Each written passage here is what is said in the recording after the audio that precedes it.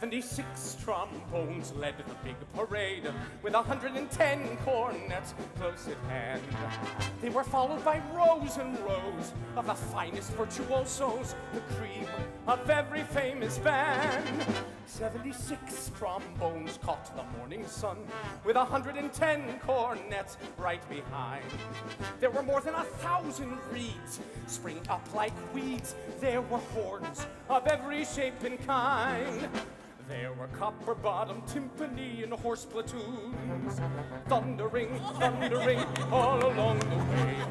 Double-belled euphoniums and big bassoons, each bassoon having his big fat say. There were 50 mounted cannon in the battery, thundering, thundering louder than before clarinets of every size, and trumpeters who'd improvise a full octave higher than the score.